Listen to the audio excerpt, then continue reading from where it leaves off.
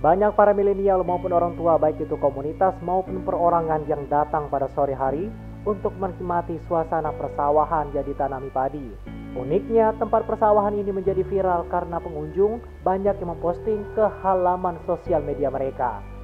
Sang jurnalis Bungo TV mendatangi kawasan tersebut memang dirasakan suasana desa yang asri dengan jalan yang sudah dirabat beton dan lokasi berada di tepi sungai Batanghari dengan suasana sejuk serta aroma khas tanaman padi.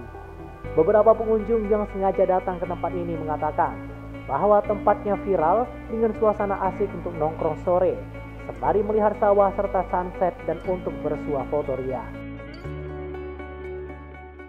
Mana nih? tempatnya eh, viral sih karena ya banyak orang peminat yang ke sini Eh, Suasananya memang asik untuk nongkrong ya. iya Ini biar happy. Memang sering main ke sini. Baru ini Baru ini. Kok tahu kalau rame di sini? ya lihat postingan orang Posting- Postingan orang ya. Rame ya. ya lihat sawah dan pemandangannya bagus di Marga Mulia Marga Mulia. Ini sekarang lagi viral nih. Apa sih antusias adek ke sini? untuk foto-foto Apakah di wilayah Rantaraso nggak ada lagi yang seperti ini yang memang bagus suasananya? ada tapi bagus di sini ya Sun nengok sunset om Sunset ya. Kalau sore sunset iya nampak ya? nampak di sini Oh, sering memang adek main ke sini. sering Apakah waktu lagi viral inilah?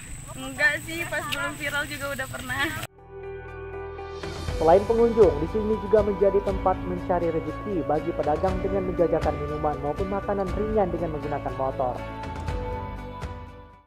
pas lah kalau nyore kalau kebanyakan sih kayak remaja Anak-anak. SMP SMA kalau untuk kalangan sekarang ya merata lah mas ada ibu-ibu Hai. bapak Ada buka jualan idenya tuh dari mana? kalau idenya dari TikTok IG kebanyakan dari situ mas Kita udah berapa lama jualan? kalau pertama saya pertama yang di sini Ha, terus ada yang bude di sana Ha. kan asli orang sini iya. Dengan viralnya tempat ini, Suhada, ketua kelompok rukun tani tetap mendukung.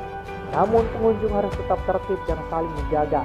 Jangan sampai mengganggu maupun merusak tanaman yang ada di tempat ini. Di aku ini sekarang ini mas, ya kalau enam budak-budak lah ya di sini kan yang penting kita tertib kan, ya alhamdulillah kita senang kan gitu kan. Yang penting saling menjaga kan gitu kan, tidak ada ini kan gitu kalau di aku kan gitu. Kami sebagai ketua kelompok tani di sini kan ada ada wisata mendukung, sebenarnya kan untuk kegiatan untuk ke depannya itu mas, kan Oh, gitu, gitu, untuk kegiatannya gitu. Cuman dan perasaan aku yang selama ini tuh tidak ada namanya untuk ganggu ini. Aman, Mbak, ya? Aman-aman macam mana kan gitu. Berarti seneng lah ya ini Ya, di senang lah. tempat Ya, ya, betul, didatangi didatangi orang ya. itu kan. Sebenarnya kan gini, kalau sekarang kan memang kita rencana mau dipakir. Kalau Ah. dipakir sekarang, kalau saatnya kita pindah dulu itu sama dengan pungli. Pungli Iya. sebenarnya kan gini mas, kita baru mulai bergerak. Iya. Masa kayak sudah itu kan, kecuali ada undang-undangnya baru kita rencanakan ke pakir itu pak. Iya. Nah itu pak. Tanjung Jabung Timur, Hadi Subumo TV.